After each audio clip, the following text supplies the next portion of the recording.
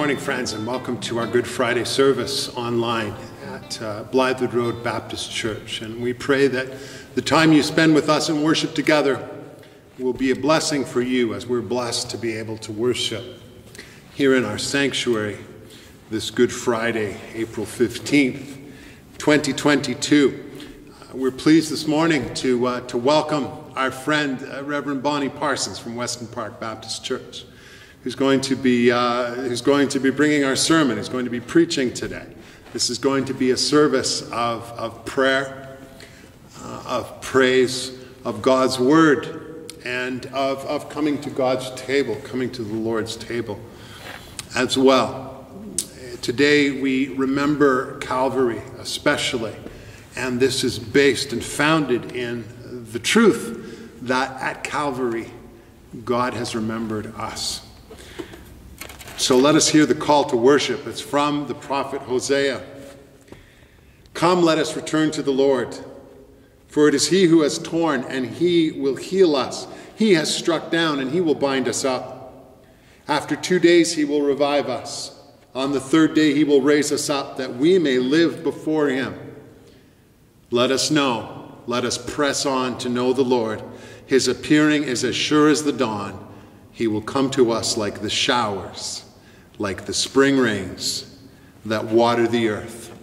Amen. Let's come before God in prayer now, friends. Let's pray.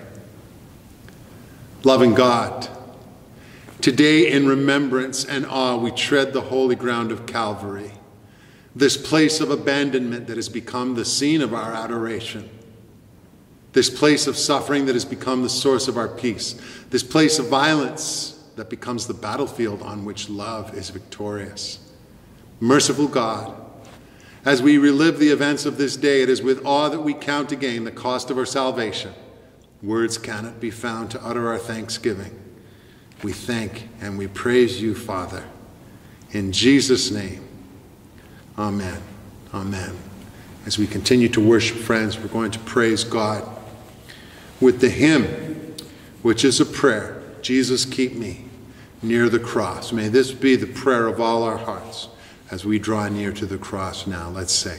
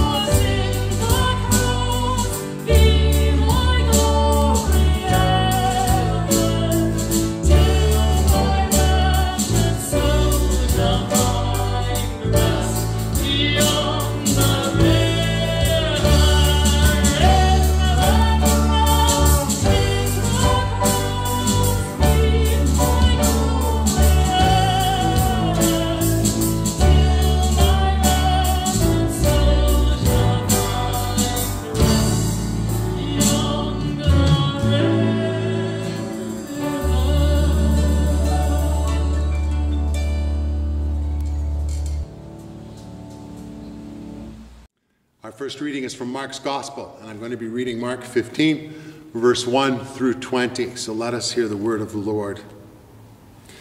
As soon as it was morning, the chief priests held a consultation with the elders and scribes and the whole council. They bound Jesus, led him away, and handed him over to Pilate. Pilate asked him, Are you the king of the Jews? He answered him, You say so. Then the chief priests accused him of many things. Pilate asked him again, Have you no answer? See how many charges they bring against you. But Jesus made no further reply, so that Pilate was amazed. Now at the festival, he used to release a prisoner for them, anyone for whom they asked. Now a man called Barabbas was in prison with the rebels who had committed murder during the insurrection. So the crowd came and began to ask Pilate to do for them according to his custom. Then he answered them, Do you want me to release for you the king of the Jews? For he realized that it was out of jealousy that the chief priests had handed him over. But the chief priests stirred up the crowd to have him release Barabbas for them instead. Pilate spoke to them again. Then what do you wish me to do with the man you call the king of the Jews? They shouted back, Crucify him. Pilate asked them, Why? What evil has he done? But they shouted all the more, Crucify him. So Pilate, wishing to satisfy the crowd, released Barabbas for them, and after flogging Jesus, he handed him over to be crucified. Then the soldiers led him into the courtyard of the palace, that is, the governor's headquarters, and they called together the whole cohort, and they clothed him in a purple cloak. And after twisting some thorns into a crown, they put it on him. And they began saluting him. Hail, King of the Jews! They struck his head with a reed, spat upon him, and knelt down in homage to him. After mocking him, they stripped him of the purple cloak and put his own clothes on him. Then they led him out to crucify him.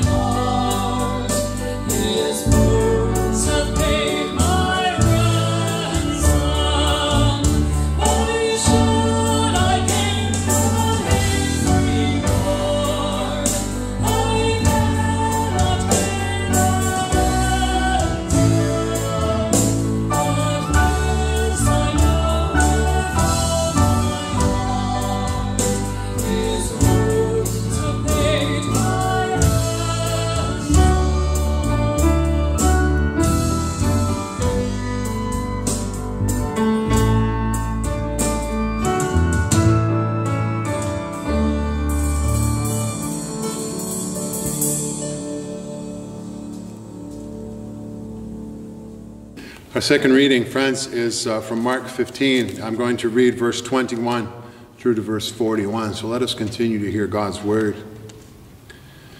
They compelled a passerby who was coming in from the country to, to carry his cross. It was Simon of Cyrene, the father of Alexander and Rufus.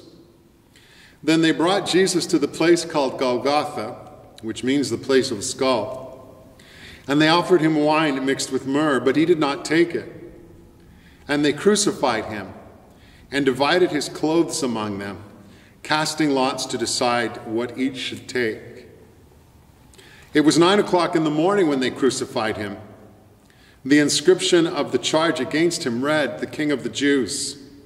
And with him they crucified two bandits, one on his right and one on his left. Those who passed by derided him, shaking their heads and saying, Aha, you who would destroy the temple and build it in three days, Save yourself and come down from the cross. In the same way, the chief priests, along with the scribes, were also mocking him among themselves and saying, He saved others, he cannot save himself. Let the Messiah, the King of Israel, come down from the cross now so that we may see and believe. Those who were crucified with him also taunted him. When it was noon, darkness came over the whole land until three in the afternoon. At three o'clock, Jesus cried out with a loud voice, Eloi, Eloi, lama sabachthani, which means, My God, my God, why have you forsaken me? When some of the bystanders heard it, they said, Listen, he is calling for Elijah. And someone ran, filled a sponge with sour wine, put it on a stick, and gave it to him to drink, saying, Wait, let us see whether Elijah will come to take him down. Then Jesus gave a loud cry and breathed his last and the curtain of the temple was torn in two from top to bottom. Now, when the centurion who stood facing him saw that, that in this way he breathed his last, he said, Truly, this man was God's son. There were also women looking on from a distance. Among them were Mary Magdalene and Mary, the mother of James the younger, and of Joseph and Salome. These used to follow him and provided for him when he was in Galilee and there were many other women who had come up with him to Jerusalem.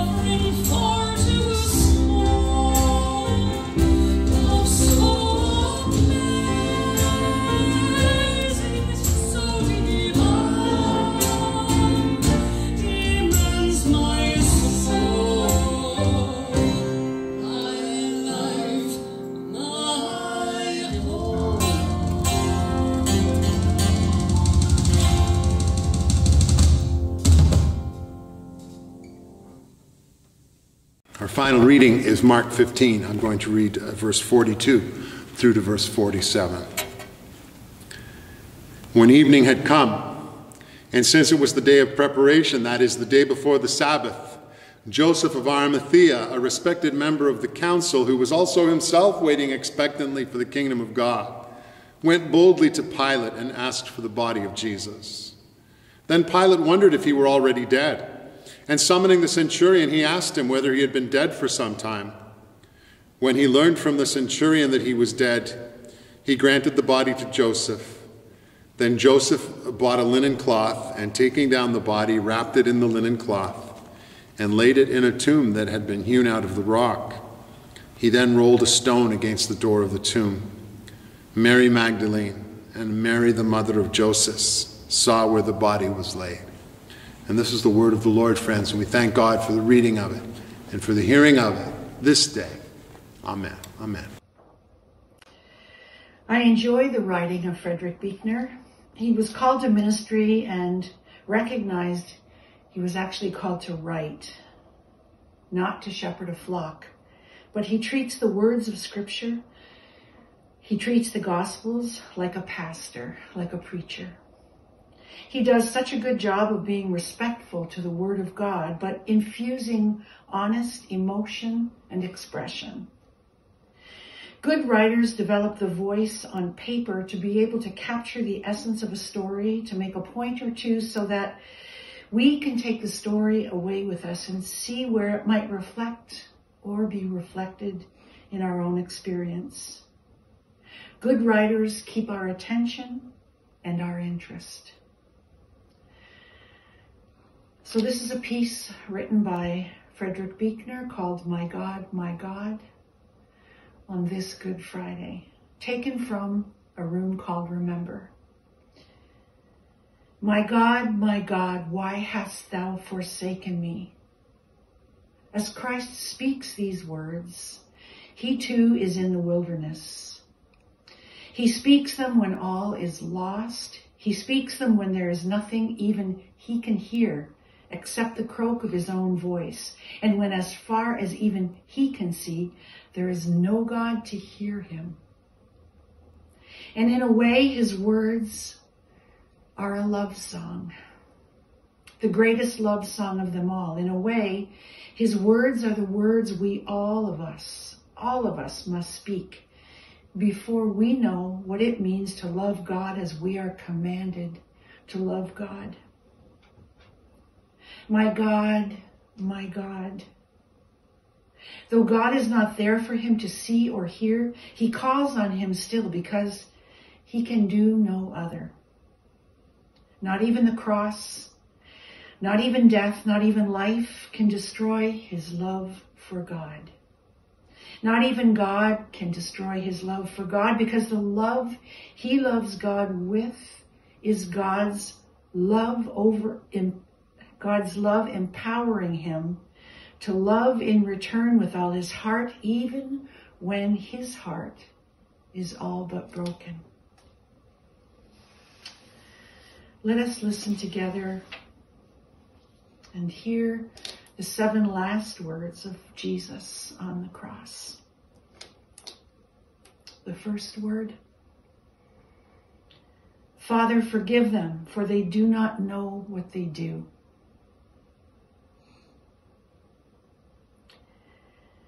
Jesus on the day of his crucifixion, ascribing their participation in transgression to their ignorance and limited understanding.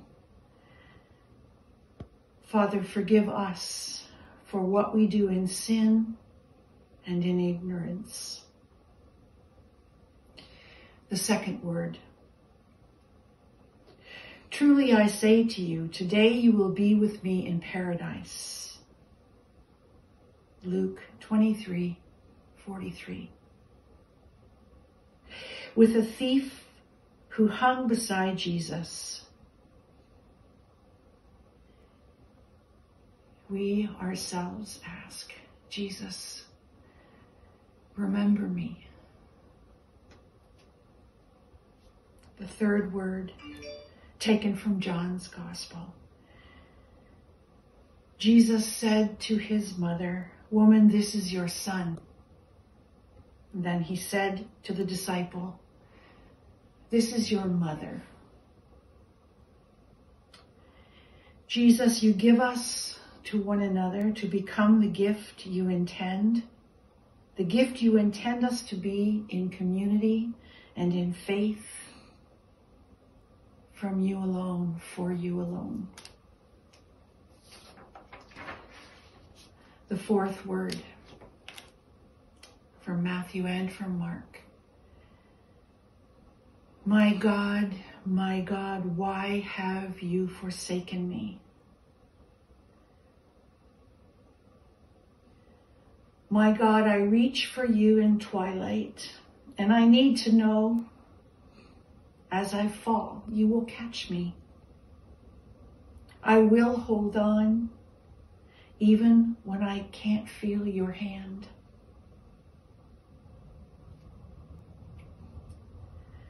The fifth word from John's Gospel. I thirst. At the end, there is thirst for a drink of the living water.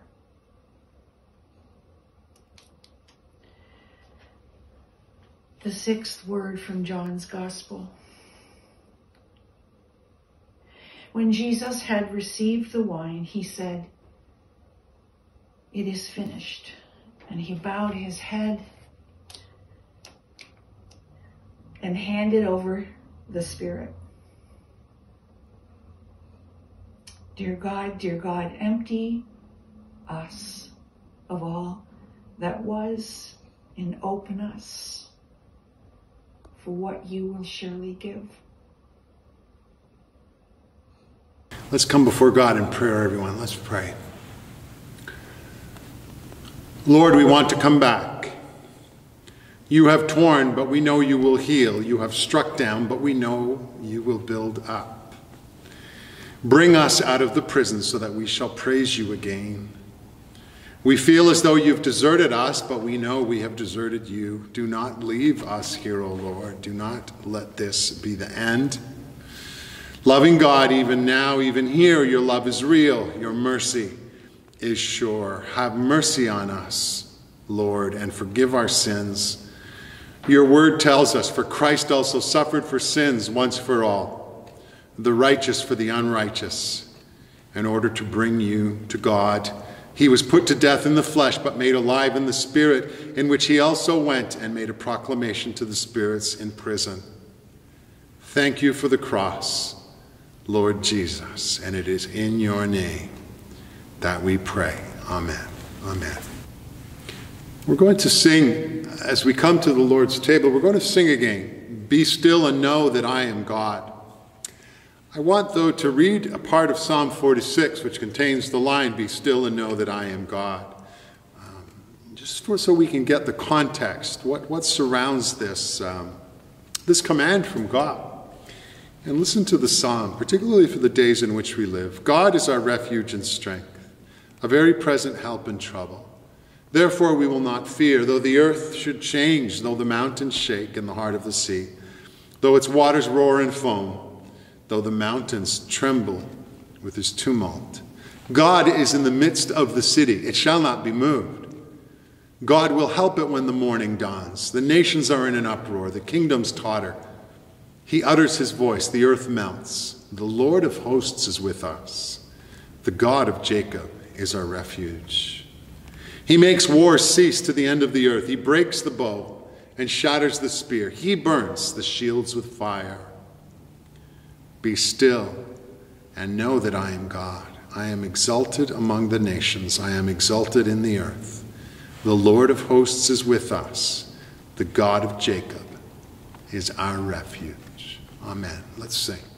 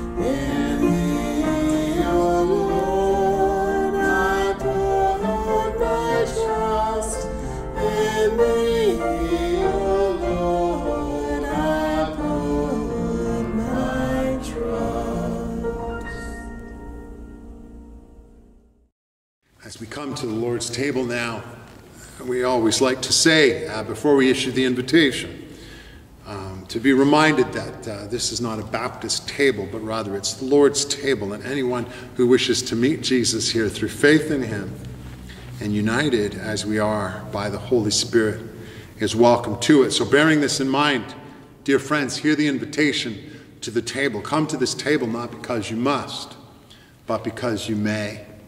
Come not because you are strong, but because you are weak. Come not because any goodness of your own gives you the right to come, but because you desire mercy and help. Come because you love the Lord a little and would like to love him more. Come because he loves you and gave himself for you. Come and meet the risen Christ, for we are his body. Amen. Amen. The Apostle Paul tells us of the institution of the Lord's Supper with these words For I received from the Lord what I also handed on to you, that the Lord Jesus, when he was betrayed, took a loaf of bread, and when he had given thanks, he broke it and said, This is my body, which is for you. Do this in remembrance of me. In the same way, he took the cup after supper, saying, This cup is the new covenant in my blood. Do this as often as you drink it in remembrance of me. For as often as you eat this bread and drink this cup, you proclaim the Lord's death until he comes. Amen.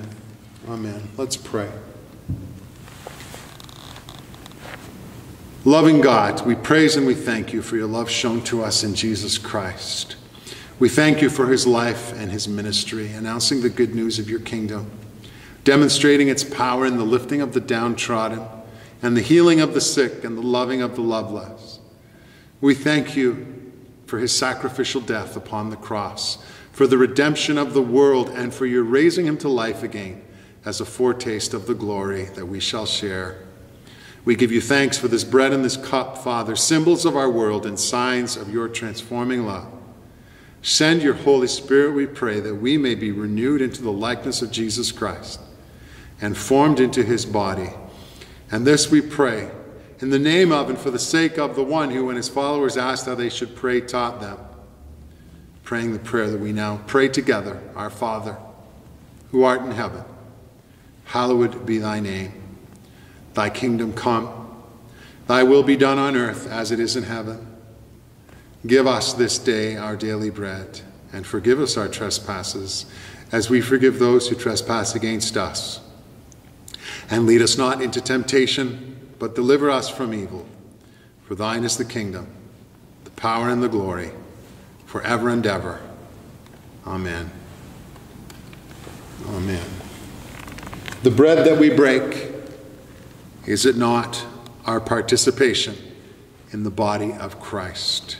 Take this in remembrance that Christ died for you and feed on him in your hearts with thanksgiving.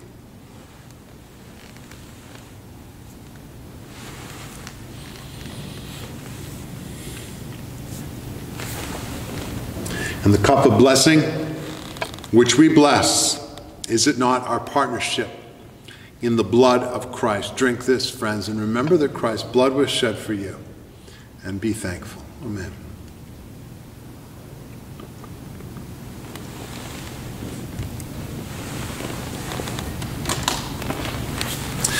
Let us pray. Almighty Father, we thank you this Good Friday for feeding us with your word, for feeding us at this table.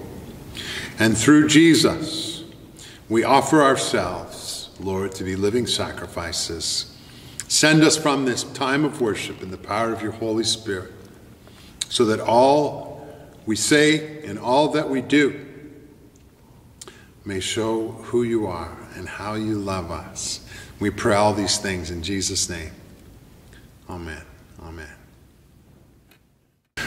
One might ask the question how is it that we can call a day like this uh, good? A day that when we, re- we remember a death as good. As Christians, as followers of Christ, we live in expectancy. We live as, as, as expectant people.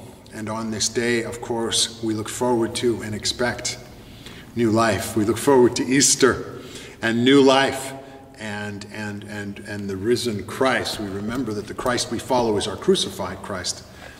At the same time, he is the risen Christ in whom we have life. In this way, we call this day good, and in the same way, we call the cross wonderful. So let us sing now and, uh, and celebrate the wonderful cross. Let's sing.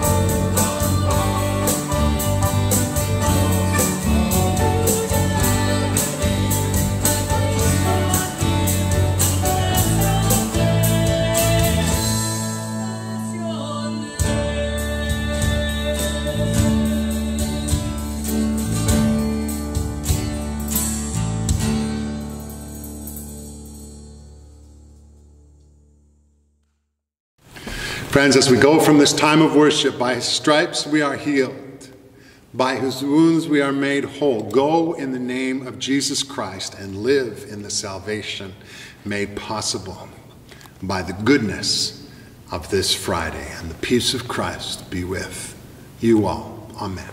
Amen.